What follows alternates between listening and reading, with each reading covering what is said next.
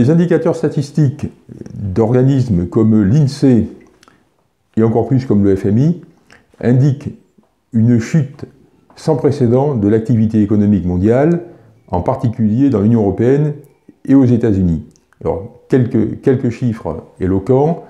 Plus 17 millions de chômeurs aux États-Unis depuis le début de la crise, une, une récession observée en France de 7% au cours des deux mois passés. Le gouvernement français avait reconnu 3%, estimé un petit peu plus, et là, il y a quelques jours, le FMI vient de refaire ses, calculs, refaire ses mesures. La récession observée en France est de 7%, autrement dit, c'est quelque chose de phénoménal. La récession observée en Allemagne est de même niveau. La, la récession observée aux États-Unis est pas loin de 6%, celle observée en Grande-Bretagne est de 5,5%, celle observée en Espagne est de 8%, et celle observée en Italie était de 6,5%. On a donc là la mesure d'un phénomène inouï euh, qui va entraîner des conséquences inouïes. Les États et les banques centrales, vous le savez, ont réagi rapidement et avec une vigueur, là encore, qu'on n'a jamais vue. Rappel de quelques mesures ou des mesures les plus, les plus, les plus fondamentales. Euh, c'est d'une part, c'est l'injection, j'en ai parlé dans, une de mes vidéos précédentes, je crois que c'est l'avant-dernière, euh, dans l'avant-dernière vidéo, c'est l'injection euh, directe dans les entreprises d'argent eh pour les soutenir et empêcher à la fois que le tissu économique disparaisse et que le chômage explose encore plus. Donc beaucoup plus loin que le système des, quantitative easing qui consistait par la Banque centrale à injecter de l'argent dans les banques euh, de façon, en leur rachetant des, les dettes dont, elles sont dont, elles sont propriétaires sur, les entreprises, de façon à ce que ces banques puissent continuer à financer les entreprises. Là, c'est non, pas la, Banque centrale, mais les États qui directement euh, mettent de l'argent dans les entreprises. Donc, euh, mesure extraordinaire au sens propre du terme. Deuxième mesure extraordinaire, et là, non seulement extraordinaire, mais phénoménale, euh, c'est l'annonce qui a été faite par la Banque centrale américaine, en l'occurrence son président, qui est M. Jérôme Powell, dont on sait, dont on a pu observer depuis plusieurs mois que en réalité euh, Powell est totalement sous l'influence du président Trump, euh, tout simplement, c'est une question de, euh, rapport de force, de personnalité. Euh, Trump, qui est un, homme indiscutablement très, puissant du point de vue de, sa, personne, a pris à, main le président de la, Banque centrale et M. Powell nous a annoncé il y a, il y a 10 jours que, je répète, aucune entreprise enfin personne, plus exactement, personne ne ferait faillite aux États-Unis dans les mois qui viennent. Donc pour empêcher, ça, la mesure qui est annoncée par M. Powell, c'est tout simplement que la Banque centrale américaine, dont il est le président, va racheter toutes les dettes de l'économie américaine. Vous entendez bien, toutes les dettes de l'économie américaine. Donc aussi bien, bien sûr, euh, les dettes des, euh, les, dettes des entreprises euh, bien notées qu'elle avait l'habitude de racheter par le système des quantitative easing, euh, donc directement auprès des banques, mais également les dettes d'entreprises moins bien notées, également les dettes pourries, également les dettes des administrations de l'État américain et également les dettes des collectivités locales. Alors effectivement, avec une mesure pareille, je pense qu'il a raison de dire que dans les mois qui viennent, personne ne fera faillite aux États-Unis. Mais justement, la prise de ces mesures euh, indique bien qu'on est dans une situation absolument extraordinaire. Bonjour, c'est Pierre Maumont. Dans cette vidéo, je réfléchis à comment se préparer à la crise économique et sociale qui s'annonce particulièrement en France. conséquences, je les ai classées en deux catégories qui sont, qui sont ce que j'appelle les conséquences directes prévisibles, et puis ensuite les conséquences induites dont la survenance est moins certaine. Alors les conséquences directes prévisibles, eh bien, malgré tout ce que je viens de vous dire sur ce qui se fait aux États-Unis pour empêcher les faillites des entreprises, nous, on en fait moins en France, on en fait moins dans l'Union européenne, bien qu'on fasse déjà des choses absolument hétérodoxes, eh bien, ces conséquences, ça va être des faillites d'entreprise. Probablement des faillites en nombre considérable.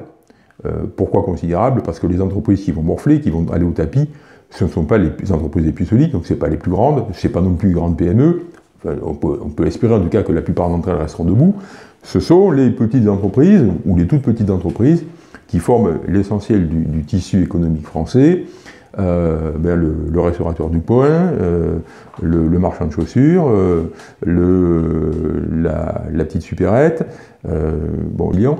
mais enfin bref, toutes les, tout ce qui est artisan et, petit commerce est appelé à morfler, d'autant que si on en juge par l'importance très relative des, fonds que l'État nous annonce débloquer pour ces petites entreprises, on ne voit pas comment ils pourraient, avec des aides aussi petites, euh, ils pourraient euh, survivre pendant plusieurs mois. Alors donc, chômage massif. Chômage massif, bien ça veut dire augmentation massive des indemnités de chômage malgré la réforme du chômage, qui d'ailleurs peut-être a été a été, euh, que le gouvernement a peut-être fait passer parce qu'il anticipait plus ou moins ce qui, allait se, produire. Euh, mais de toute manière, sur le plan humain, c'est quelque chose de désastreux, puisque euh, le chômage massif, ça veut dire de toute manière beaucoup, beaucoup de misère, et encore plus si, du fait de la réforme du chômage, il y a tout un tas de gens qui ne sont pas indemnisés.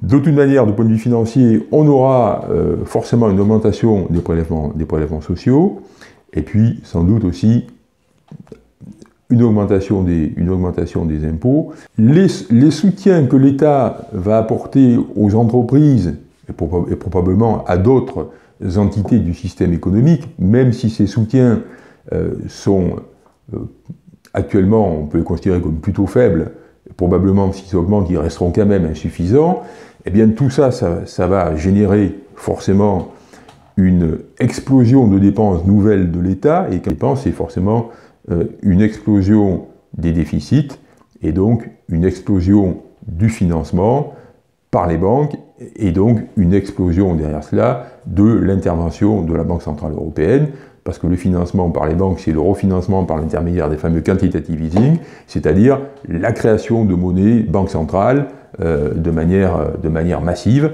euh, ben, tout simplement pour empêcher euh, pour permettre à ces mesures de fonctionner, et lesquelles mesures sont là pour empêcher que tout se casse à figure.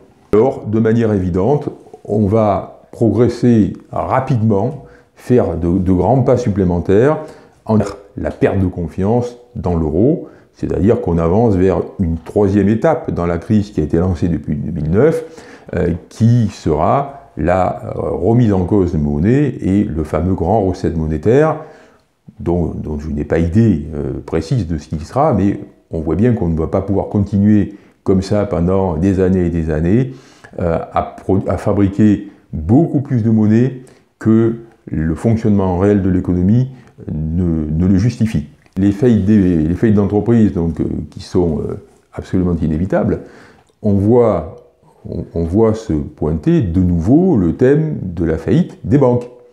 Euh, la faillite des banques, donc qui n'est pas un thème nouveau, mais qui est quelque chose qui va bien sûr se potentialiser considérablement au fur et à mesure que leurs clients entreprises font faillite, et donc que ces clients ne sont plus capables de rembourser les prêts qu'ils ont contractés auprès des banques.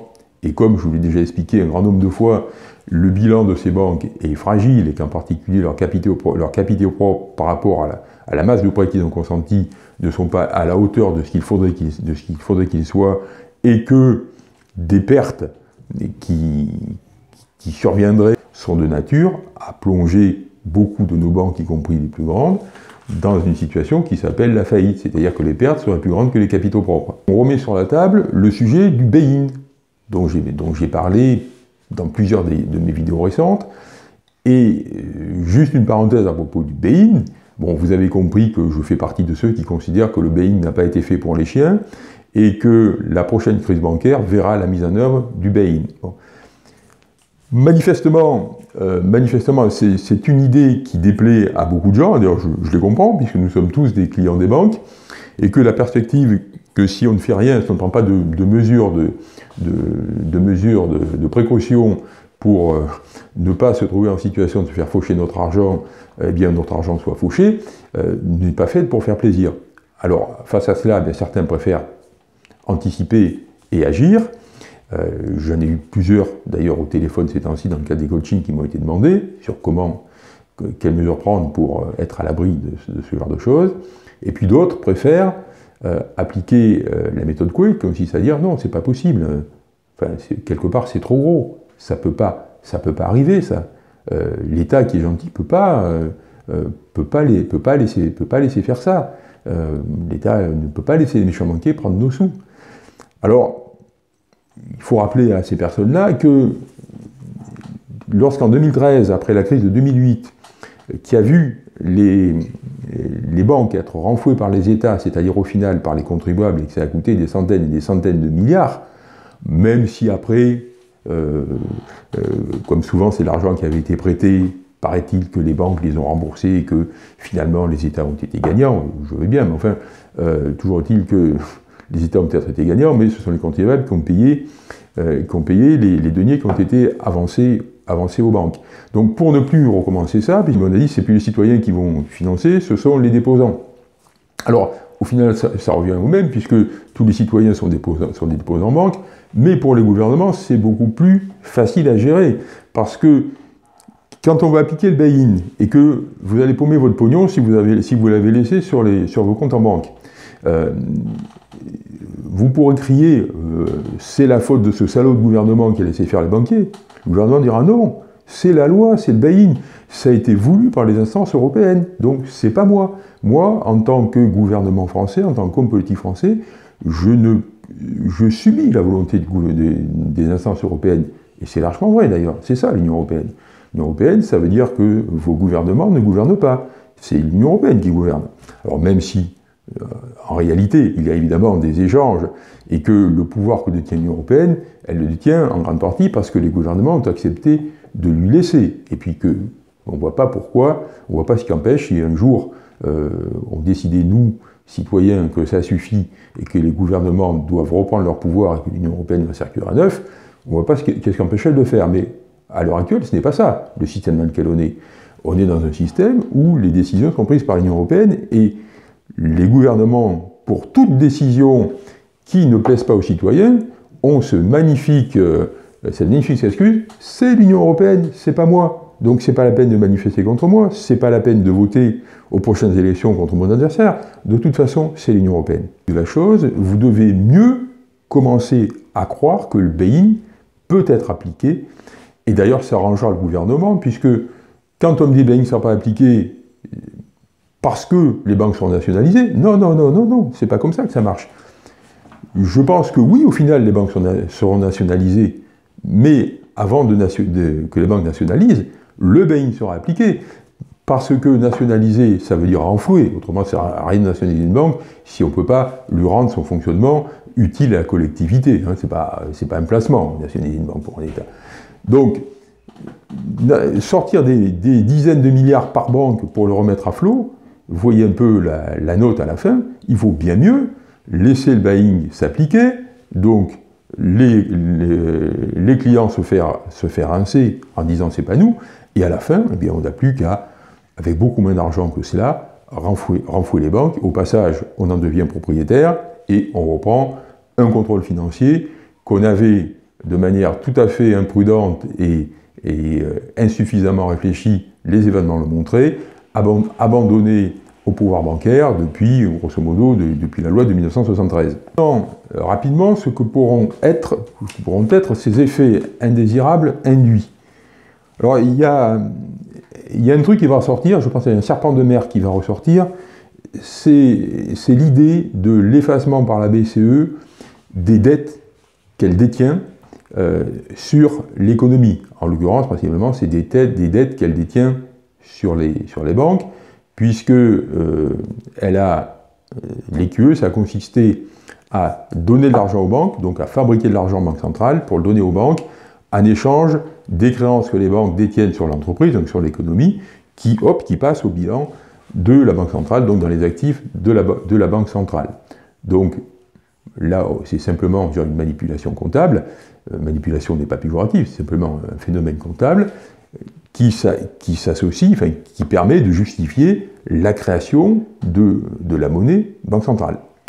Le problème, c'est que cette monnaie banque centrale, donc euh, en l'occurrence, euh, elle est en circulation, euh, elle est justifiée du point de vue de l'orthodoxie monétaire par le fait qu'il y a en face, qu'il y a de l'autre côté, donc dans le bilan Banque centrale, dans ses actifs, qu'il y a une dette pour même montant. que la Banque centrale est en capacité de, se faire payer une dette euh, à ceux, par ceux qui ont émis euh, ces titres dont elle est désormais propriétaire, c'est-à-dire les États et, les entreprises. Donc, on, voit bien que cela, même si c'est tout à fait orthodoxe du point de vue financier, c'est une menace considérable qui pèse sur les États et les entreprises, parce que comme cette dette se chiffre en milliards, enfin milliers de milliards, pardon, euh, quand il va falloir la rembourser, on voit bien que ça va poser un problème euh, bah, considérable. De nouveau, les États vont être financièrement exempts, ils sont déjà pas brillants, ils vont être encore plus.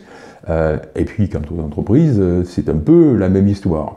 Donc, cette, dette détenue par la Banque centrale, c'est en vérité une épée de Damoclès épouvantable sur, l'avenir des économies, donc sur nos avenirs à nous en tant que citoyens. De ceux qui disent, après tout, pour assainir la situation, il n'y a qu'à faire entrer sur cette dette parce que euh, cet argent, il n'a pas été, cette, euh, l'argent que les banques centrales ont, injecté dans l'économie, donc par l'intermédiaire du rachat des créances des banques, cet argent qui était injecté dans l'économie, euh, il n'aura rien coûté.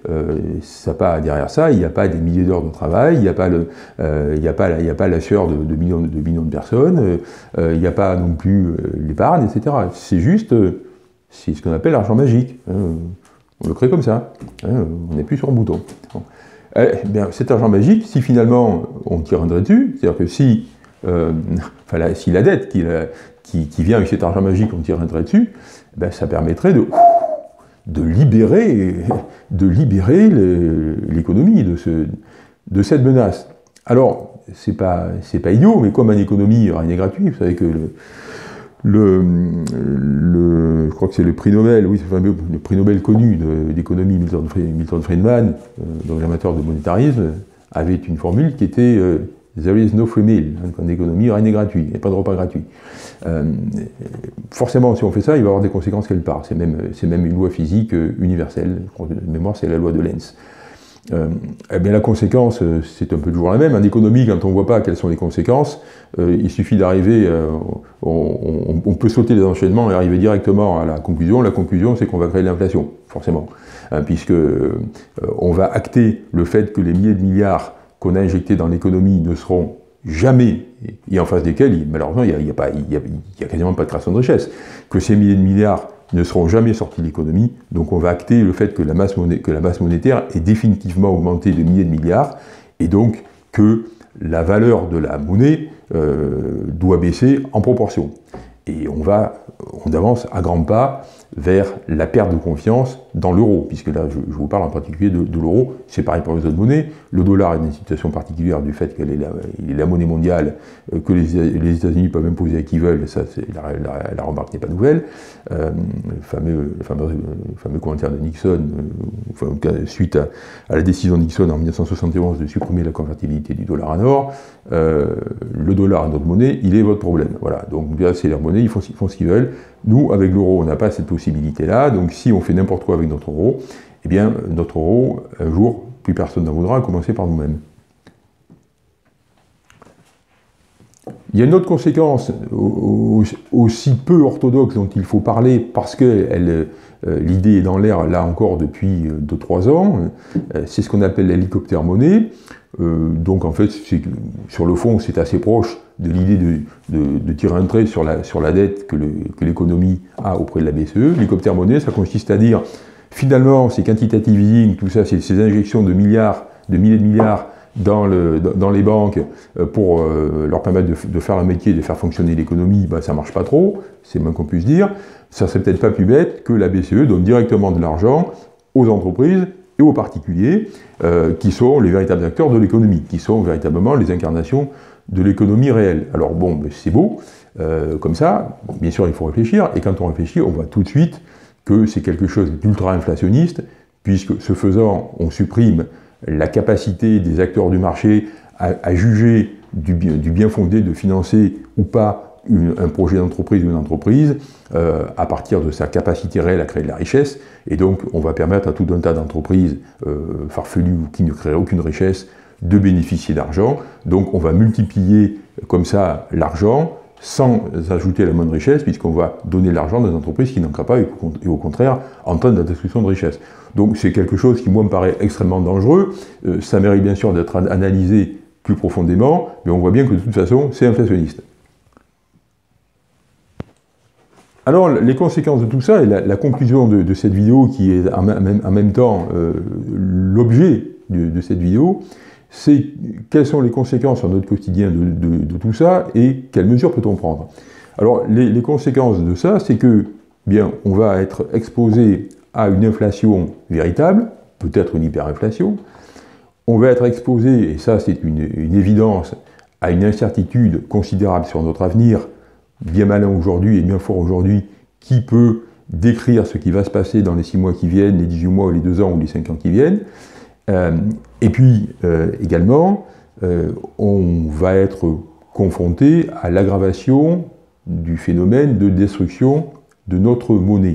Alors bon, je, m'arrête là, puisque ces trois, ces, trois, items sont bien sûr de, nature à, exiger de nous une préparation très sérieuse pour y faire face. Bon, pour l'inflation, vous, le, vous, le, savez, pour faire face à l'inflation, mais il faut convertir son patrimoine le plus possible en bien tangible, c'est-à-dire l'immobilier, les actions, hein, ça peut surprendre, mais les actions, il ne faut pas oublier que ce sont des parts de propriété d'entreprise, donc en choisissant bien les actions, on a en main des biens tangibles, euh, et puis, pour faire simple, euh, les forêts. Alors, il y a des tas d'autres biens tangibles, après on est, dans le folklore ou l'anecdote, euh, et sur, les marchés qui concernent peu de monde, parce qu'il faut être évidemment spécialisé, si je vous parle de voitures de collection, d'histoires comme ça.